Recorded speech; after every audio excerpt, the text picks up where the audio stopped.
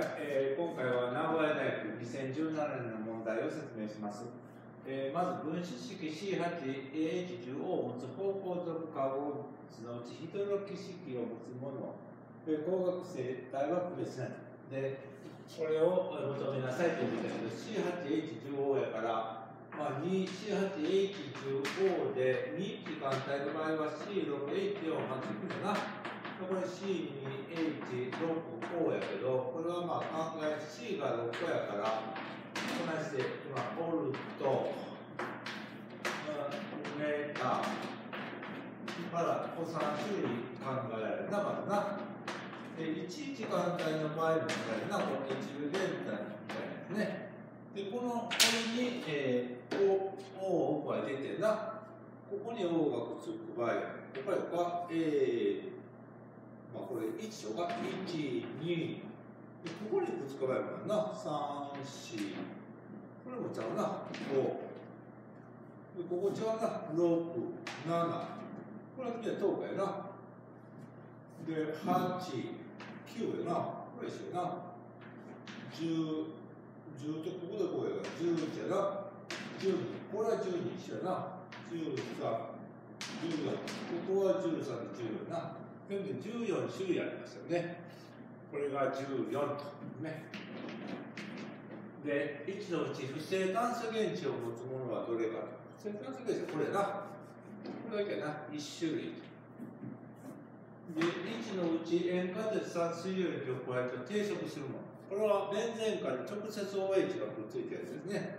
これじゃな1項、2項、3項、4項やな。5項、6個、7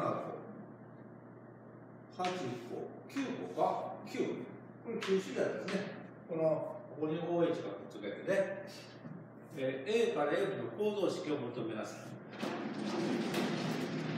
これもややこしいな。えー、これ一番わかりやすいのはサリチル酸メチルだな。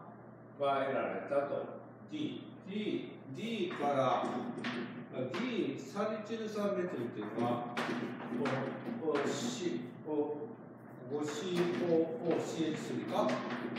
で、OH。だから、えー、D からやから D は、こんな形だな。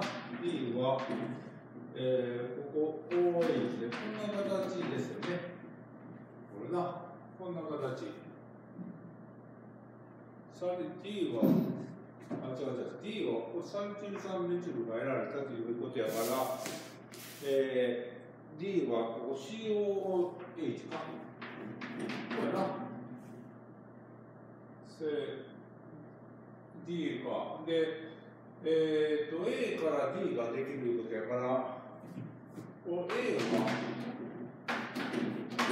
こう OH で、こう CC は、この形やな。これさ、出したら、えー、こみたいな形になりますよね。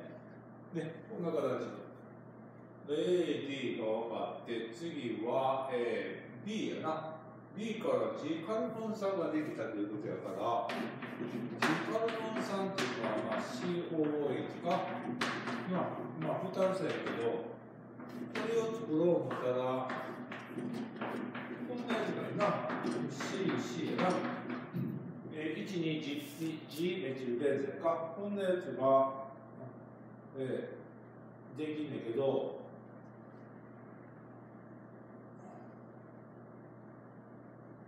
B からは、